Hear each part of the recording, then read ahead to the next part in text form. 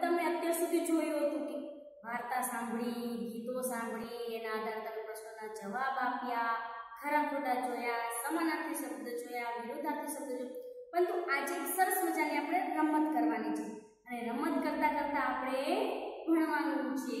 તમે પહેલા અને બીજા ધોરણમાં તો તમે શીખી જ ગયા છો. મૂળાક્ષર છે, સાદા શબ્દ છે, માત્રાવાળા શબ્દો, એના વાક્યો, આ બધું તમે શીખી ગયા છો. હવે આજે તમારે જે રમત રમવાની છે ને એનું નામ છે રીડિંગ ક્રિકેટ ક્રિકેટ તમે બધા છો?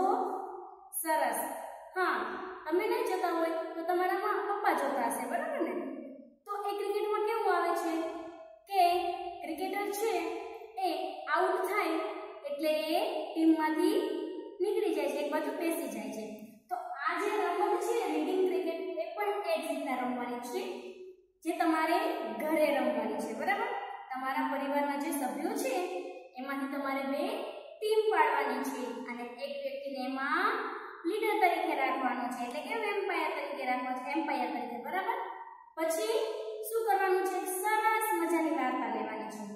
એમાંથી પહેલા એક ટીમની વાર્તા છે. ટીમ વડે એ વાર્તા વાંચશે.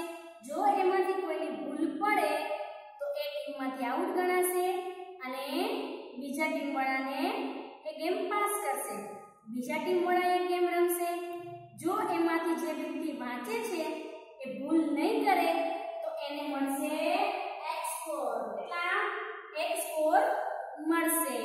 તો ચાલો જો મેં અહીં એક નાનકડો પેરેગ્રાફ લીધો છે, બરાબર? હવે જો જો મારી ભૂલ પડશે તો હું પણ આઉટ થઈ જઈશ. જો જો વાર્તામાં પેરેગ્રાફમાં શું છે?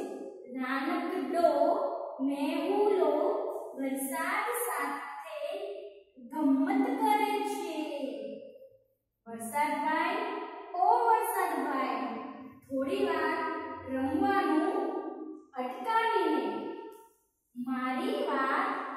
સાંભળો કેમ છો?